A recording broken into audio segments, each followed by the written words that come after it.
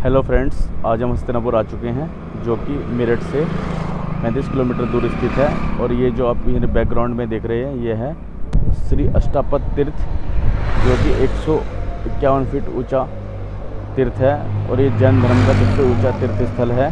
तीर्थ क्षेत्र के रूप में, जैन परंपरा के अनुसार, हस्तिनापुर एक ऐसी पावन भूमि है, जहाँ की गाथाएँ न केवल राष्ट्रीय स्तर पर, बल्कि अंतर्राष्ट्रीय स्तर पर भी अनुगुंजित होती रहती हैं।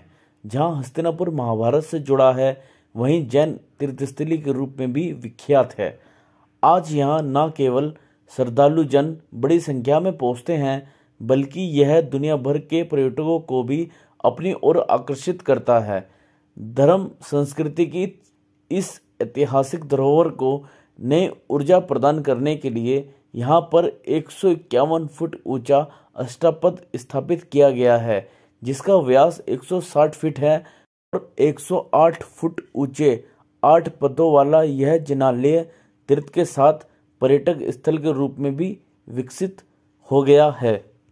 अब हम आपको इसके आसपास का नज़ारा दिखाते हैं। व इसको अच्छे से आपको दिखाते हैं। ये आप देख सकते हैं, ये आठ पद हैं।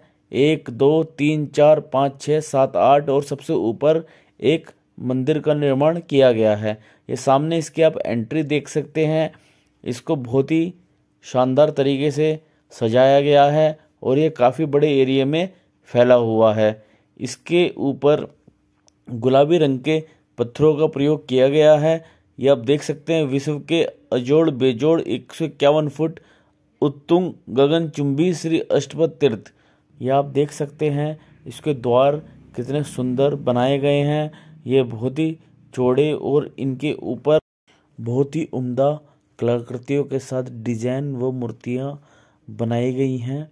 ये जो तीर्थ है, ये देखने में बहुत ही ज़्यादा आकर्षक दिखाई देता है। अब हम इसको जूम करके देख लेते हैं व इसके आसपास का नज़ारा भी देख लेते हैं कि किस प्रकार इसके पार्कों को मेंटेन किया गया है।